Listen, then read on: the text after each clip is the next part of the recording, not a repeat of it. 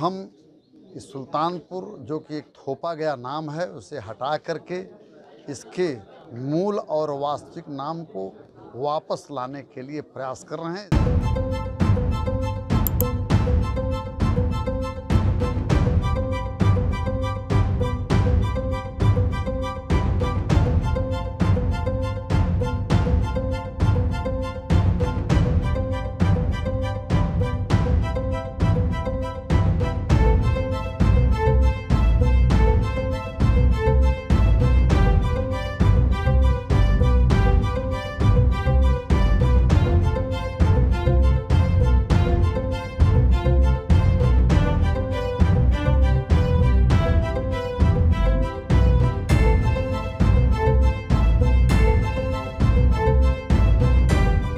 बचपन में भी रघुवंश महाकाव्यम में मुझे वर्णन होने का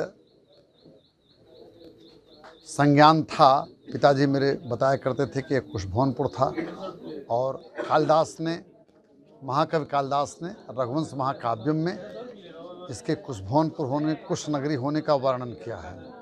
कनिंघम ने भी इसको कुशभवनपुर के रूप में वर्णित किया है। और ये बताया गया कि सुल्तानपुर नाम जो है, वह हमारे ऊपर विदेशी आक्रांताओं के द्वारा जबरन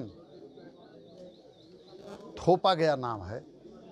तो हम इस सुल्तानपुर, जो कि एक थोपा गया नाम है, उसे हटा करके इसके मूल और वास्तविक नाम को वापस लाने के लिए प्रयास कर रहे हैं। इसके लिए मैंने दो स्तर पर प्रयास किया।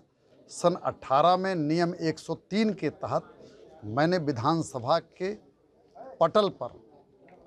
इस चीज़ की मांग की कि इसका पुराना नाम कुशभवनपुर वापस किया जाए और दोबारा अभी दस पंद्रह दिन पहले मैंने सभी विधायकों द्वारा हस्ताक्षरित, सभी विधायकों से मेरा मतलब है, भाजपा के सभी विधायकों द्वारा हस्ताक्षरित एक मांग पत्र हमने मुख्यमंत्री जी को अर्पित किया और उन्होंने यह आश्वासन दिया है कि इस पर हम गंभीरता से इसकी चिंता करेंगे।